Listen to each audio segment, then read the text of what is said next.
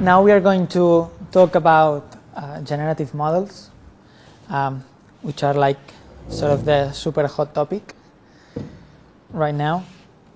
Uh, I've linked here the videos from previous year and also the session from Santi.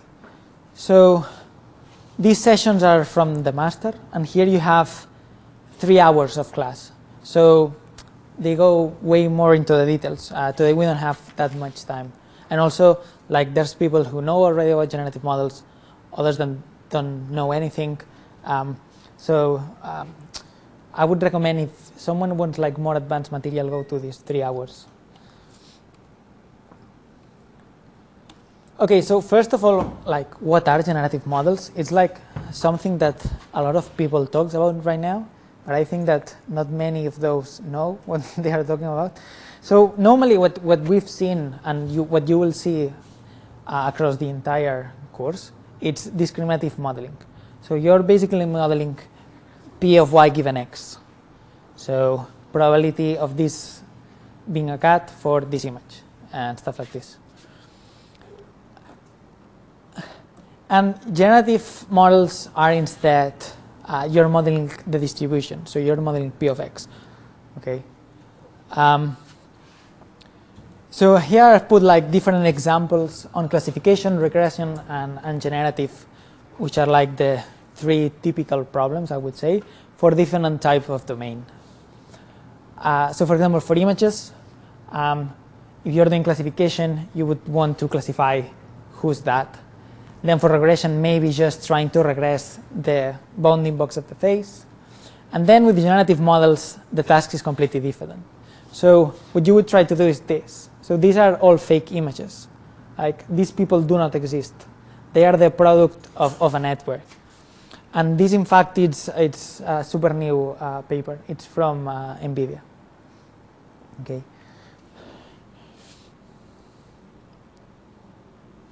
So like what's the intuition behind uh, generative models. So what you're trying to do is that giving a training data set, for example, in this case, faces, what we are trying to learn is the distribution of faces. Um, so if you imagine like a space, then in this space, you can imagine like a manifold of what an, a face looks like in a high dimensional space. And if you learn this manifold, it's like a function, then you can sample out of that distribution samples. So once you've modeled distribution, you can start now sampling new images of faces. And this is like for free. You can just like keep sampling, keep sampling, keep sampling, and you would get new uh, faces, um, which is like super important. This is not like a memory network or a hash table where you will just produce images that you've already seen, but instead you're producing completely new faces um, based on the distribution of your input data. So in this case, they are just like randomly sampling out of this distribution, but you can also condition your sampling strategy. So for example, imagine that you randomly sample this point in space you sample out of this distribution and you obtain one of these faces. And then another random point, you extract this one. Uh, so, for example, one nice property of GANs is that the distribution is going to be somehow dense. So you can linearly interpolate between these manifolds. So imagine that you have like a surface. You have two points. You're like going from one point into the other. And as you're going through this path, you're sampling out the images. And you get like these sort of nice interpolations, okay? And what I want to say with this is like, when I first saw GANs, it was like, oh, sorry, not GAN, generative models. Um, it was like, so what's the purpose of a generative model? It's just like sampling new images. Um, then why is is this like somehow useful? Maybe just to augment your data set. Um, for example, you're trying to uh, do a face detector. Maybe you want to generate more faces. Um, And I did really not understand why people were so hyped about them. And the reason, the reason is not like that you can generate new images. This is just like, let's say, an extra. The true power of generative models are this. So being able to model a distribution. So being able to model, giving uh, some samples of a distribution, trying to densely learn that distribution. And that's the, the, the true power of generative models. So here, just to motivate a bit, um, like more use cases, uh, there's this new startup that it's a fashion startup. So basically they design new clothes. And now basically they don't have any artist in the team. They just have generative models which are being trained with huge data sets of fashion. And then they are just simply sampling out the, that fashion distribution and generating new sort of clothes. And also you can use this like in anime. Um, you don't need like just to be thinking all the time of new faces, but instead you can just keep uh, generating new ones. Basically what you're seeing here for every uh, uh, cell grid, it's what we were saying at the beginning. So they started from a random point of this manifold, and then they just keep moving and sampling, sampling, sampling. When I say sampling, it's like the same in a function, right? You have your function, and then sampling is just that you choose a random point, and then you find the y. And this, for me, is the sampling. But this is being done in a high dimensional space, so with a lot of dimensions. But sampling is just this. So as I was saying, good to model complex distributions. Also, um, it's really, really good uh, for hallucinating missing data. So for example, here, um, you're doing super resolution. So you're trying to go from a low resolution image into a high one. So basically here, what you have is missing data. And you're, because you've learned how real images look like, you can refine your, your input image to make it more realistic. And in this way, making it uh, uh, more high resolution. And the same with um, occlusions or corruptions of your image. So given this image on the top, they are able to hallucinate the, the missing parts. Also, they are really good as a way of manipulating data. So in this case, on the left, uh, given this, so this is like some sort of just segmentations or labels. What you're saying here, I want here street, I want here trees, I want the sky. Then you can run it through a generative model and you obtain this, okay? So with this you can imagine like producing games or even movies that you don't have to record anything. You can like just generate them automatically, okay? Um, yeah, let me show you here another example they show in the paper. Also with faces. So here they are generating these faces just by drawing the contours. Okay, and again, these are just not real people. And then this, you can see this as sort of a smart paint program where you no longer need to paint, but just saying like, what do you want where? And the generative model is, is going to produce that for you. Okay.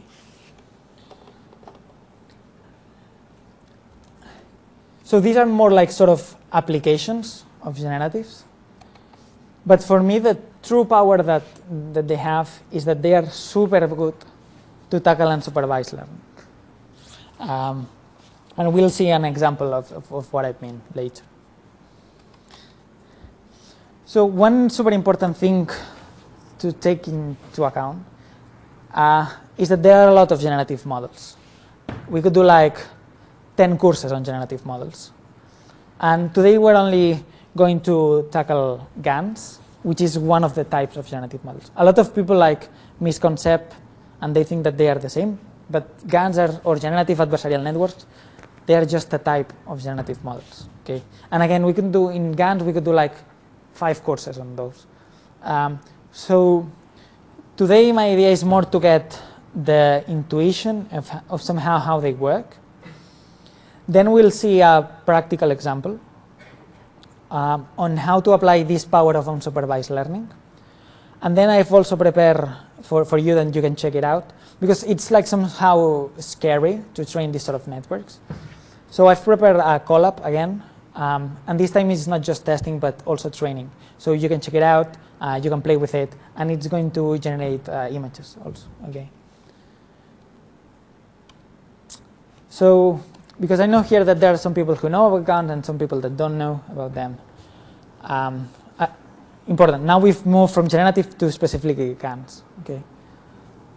Uh, how do they work? So imagine that you want to generate cats, right? The thing is, how do you evaluate if what you are generating looks real or not? Because, for example, for classification, we can just penalize with a ground truth. With segmentation, we were able to do cross entropy uh, and so on. But with cats, like, how do you penalize? How do you say like this image looks like a cat or not with a human-made uh, loss?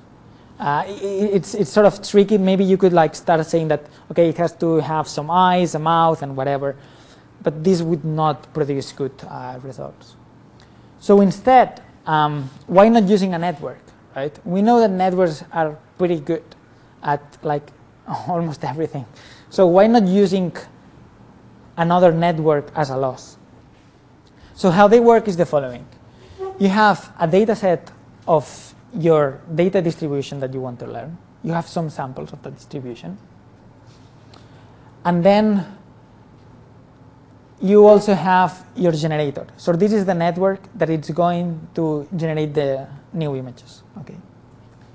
And then you have another network that you can see this as, as the loss. And the work of this network is trying to distinguish from real samples from fake samples. And basically the idea is that they have to fight each other.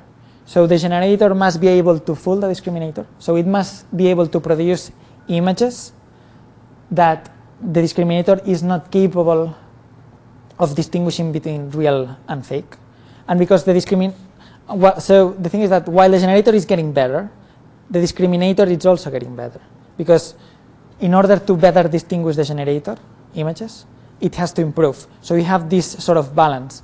And that's the main problem with GANs, that you have to maintain this balance. Once one of the two networks gets too good with respect to the other, um, then everything explodes because the gradients are not useful anymore and, and it saturates. Uh, so these are the equations. I won't go into the detail, but just that you, you have them. Basically, this is the loss to train your discriminator. It's just cross entropy. You're tr just trying to distinguish real from fake. And then this is the loss of the generator, which is simply trying to make think the discriminator um, that these are, are real images. Also, I would like to say that this was like the first GAN. Um, right now, um, the GANs we're using are a bit more complex, but just that, so you get the, the idea and then you can like start exploring more advanced uh, GANs. And the same with without equations. Basically, you would have the discriminator, to train the discriminator, you would um, generate images from noise. So you have noise. Then this noise is, is run through the generator, which is going to produce a, a, an image. And then you also have real images. And you have to train your discriminator to distinguish between them. And then there's the generator, uh, which is going to try to fool the discriminator. And you are like alternating, uh, alternating between these two. So in one step you train the discriminator, then you train the generator, then you train the discriminator. And depending on the type of GAN, um, you're going to train one more times. For example, sometimes you you prefer the discriminator to be a bit better than the generator, so you would train more the discriminator, and sometimes uh, you prefer like they are equal. And again, this depends on the specific type of GAN you use. Uh, so this is just more like um, a simple example because sometimes going with images is, is, too hard. So in here what we are trying to learn is again to mimic the Gaussian distribution. Okay. So given some samples of the distribution that are these black dots, we want our generator to be able to model this distribution. So given some noise, the generator is going, is going to produce this in green, which is the, the sampled distribution. Okay. then in blue, we have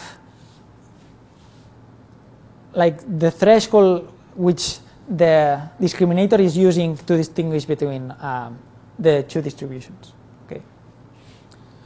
So at the beginning it's completely noise, and as you go forward, um, the discriminator it's it gets better. So now it's like super good at distinguishing if the data comes from this fake distribution or from the real distribution.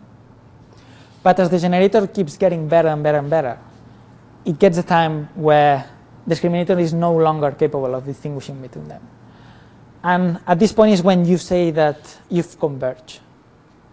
In practice, this never happens. So in practice, you never reach this sort of super equilibrium where the discriminator just uh, cannot distinguish anymore. But this is like, let's say, the, the theoretical approach. And probably some of you have already seen this example. This is a super common one. Um, I, I, think it's pretty descriptive. So, so, the thing is that this would be the generator, is, is someone trying to generate fake money. And then you have your policeman, which is the discriminator, which is trying to distinguish from real and, and fake money. So at the beginning, um, like the generated money is it's, it's like super bad. But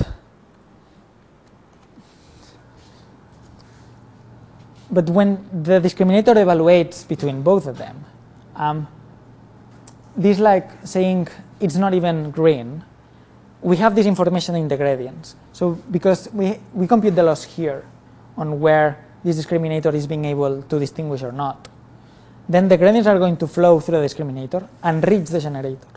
So basically the generator, because it has the gradient from the discriminator, it's able to know how is he able to, to find out if that's fake or not. And throughout these uh, gradients, you can start optimizing your generator. Okay, And by doing multiple iterations and training and training, eventually you get into a point where where the discriminator is really capable of generating um, photorealistic data or data that it looks similar to the distribution or the real distribution. Okay, so this is um, so this is the intuition. Okay, um, but then the thing is, I think the best way of of learning how to use GANs and when to use them is it, is it really um, like justify that you're going to use a GAN for a project? It's better to see a lot of projects. Um, so on, on Friday we have an, another like like presentations and everyone is like presenting one specific paper. But instead, I think that for you, in my case, it's better if I explain different papers. So they are going to use to explain one of their papers like in super detail. This is like my, my last papers. So instead of explaining one in particular, I will try to explain them in general so that you get sort of an intuition on why to use it and how. Um, today we're going to talk about one of, the, of them. Um, and probably on, on, Friday we are going to talk about a bit about this one, which is like um, mixing segmentation, what we have previously seen, and GANs, um, which is like a work we just submitted. And then this work I did at Facebook this summer at Facebook Research, um, where the idea was, okay, so imagine that you are on Instagram and you see a photo of an influencer or whatever, and you want to try their clothes. So the idea is let's try to transfer their clothes from one single image into an image of myself. And we also did this with GANs, and I will also like sort of explain you the intuition and, and what we did and, and why we did it that way. So today I will be like showcasing this specific case And again, this this idea is like like get the paper and instead of just like doing a, a strict uh, analysis, just like explain to you in what cases GANs are useful and, and, what we did in order to make it better. Also, this is more like um, I want to say that because a lot of times we tend to think that the grass is greener on the other side, right? That if you want to do like super good research, you have to go to super good universities or you have to go to super good conferences, ah, super good companies. The thing is that uh, this work that we did here in Barcelona um, won the best paper uh, award honorable mention in ECCV. So ECCV is one of the conferences that Xavi was talking uh, yesterday, which it, which it has like hundreds of papers. And there, there are papers about uh, from MIT, from Harvard, Berkeley, Google, Facebook, all of them. And, and we actually won. And I want to mention this um, because if you're thinking about doing research, don't think that you cannot do like super good research here in Barcelona. I think that the level of the community is like speeding super fast. So uh, I would recommend you to check all the groups that there are and just pick the one that you think is more correlated with the sort of, of stuff you would like to, to research about. How are we doing about time? I don't have.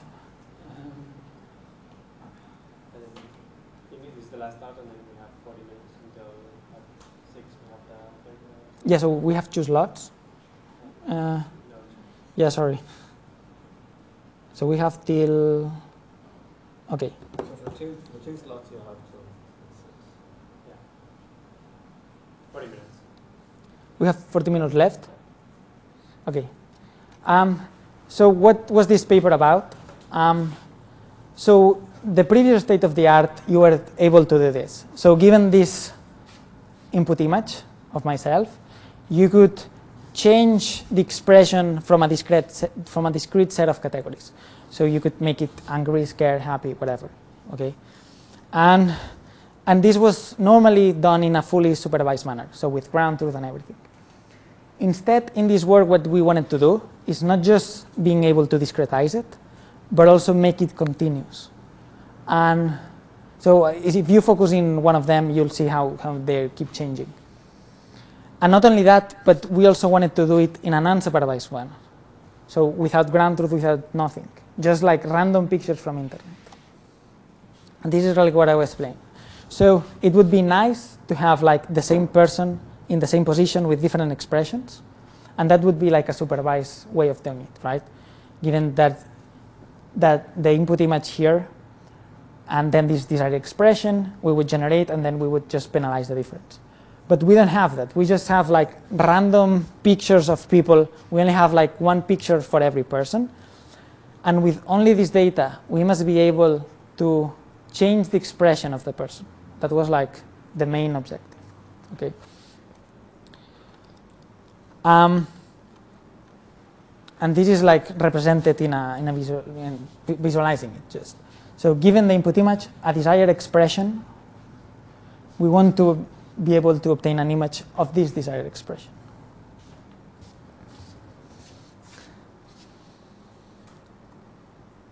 Uh, okay, yes, and this is a bit complex because we also propose like some improvements on the generators, but just think that this is a generator. Okay, this is just a, net, net, a network like before.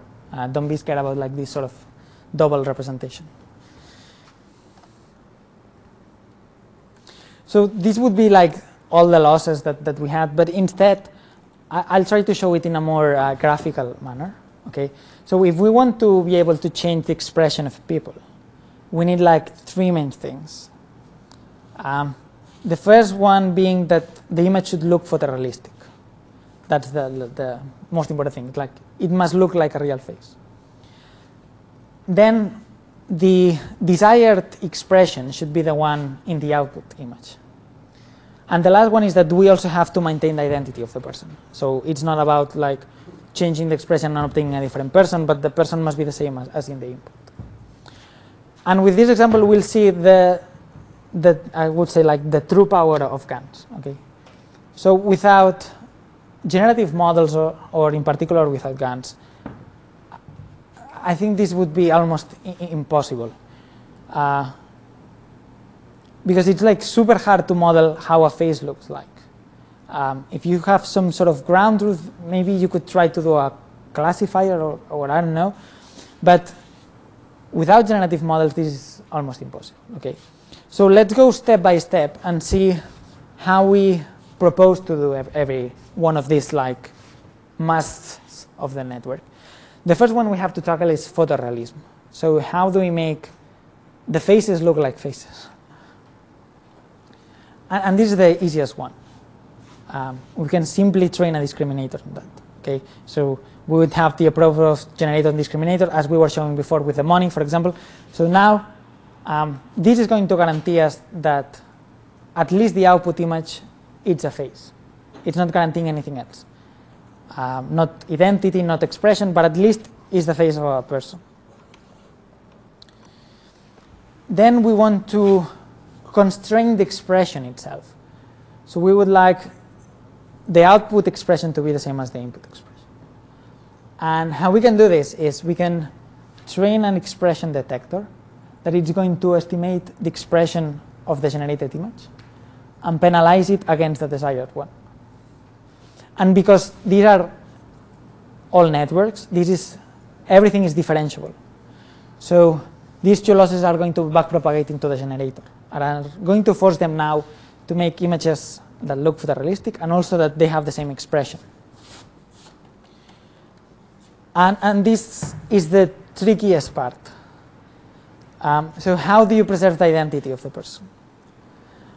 Uh, because you've only seen that person once, so you cannot train a classifier on whether to detect that if, if it's that John or not, because that's any, any person.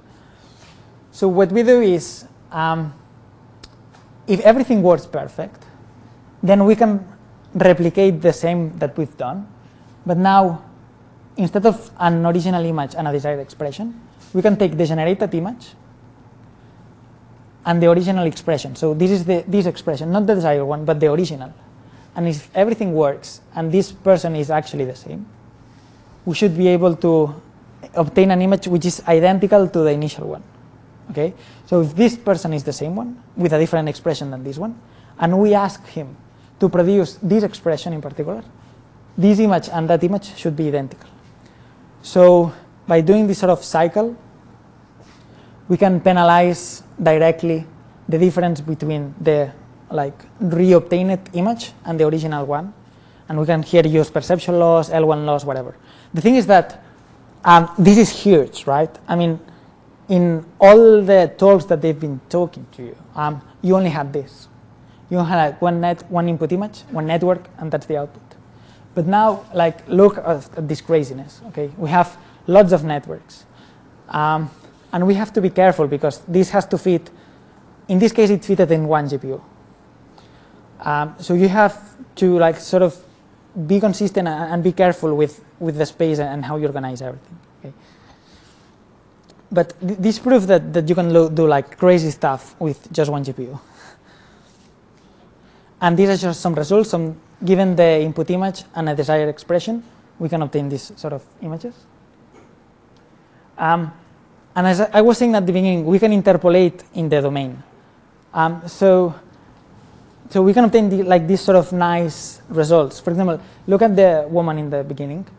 He didn't show the teeth or anything. But the thing is that we learn how teeth look like. So we can interpolate in a realistic manner and produce her teeth. And again, the only image that the model is, is seeing is the first one. Um, so here you have like the same but with GIFs.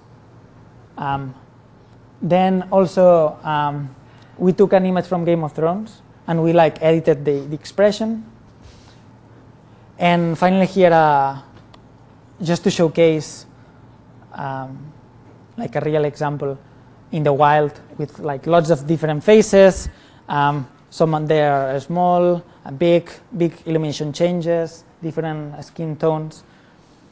Um, uh, so, so these are the, the true power of generative models. Okay, it's not about generating nice cuts or generating nice faces.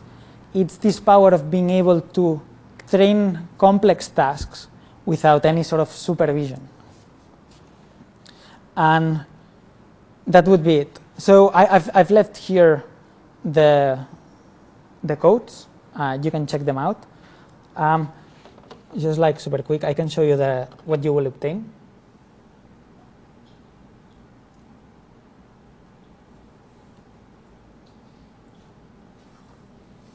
So basically here you would have some utils again. You would load the data set, define a generator, a discriminator. This is how the model is trained. Um, it's basically implementing uh, this from the original paper. Ah, this is a vanilla GAN, so this is the, the first GAN that was proposed that I'm implementing here. And if you train it for a while, it will start just producing noise. And in like three minutes or so, you will start seeing numbers. Okay, so this is like the, the simplest possible GAN. The thing is that you can reuse this code. So instead of training with numbers, you can train it with cats, and then you will start generating cats, or you can do whatever with it. Okay, um, so I think it's like a better way of learning GANs, just like seeing code and how to actually do it, rather than just like some equations. And yeah, that would be it. If you don't have any questions, ah, just a quick mention. Um, if you are interested in the paper of the thesis, um, the code is public, so you can also check that out. Um, yeah, so if you just look for me in GitHub, you will be able to, to find the repo, and all the code is here. Um, so a lot of people is using it. I don't have much time to answer all the questions. Um, so you'll see that there are like a lot of issues open. I, I don't have time to, to be like keep closing them, but you have here the code. Um, you can give it a try and, and see how it works.